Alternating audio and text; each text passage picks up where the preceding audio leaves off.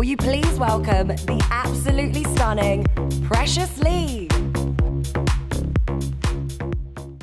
And the 2023 Fashion Award for the New Establishment Menswear goes to Bianca Saunders.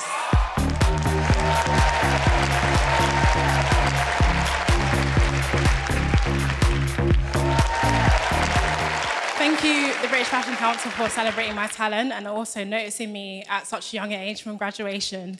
And being a part of like this award is amazing because I remember myself being 19 and like buying tickets to like see all of you amazing designers win these awards. And to be celebrated is like more than what I could hope for. Um, but I would just like to just thank you.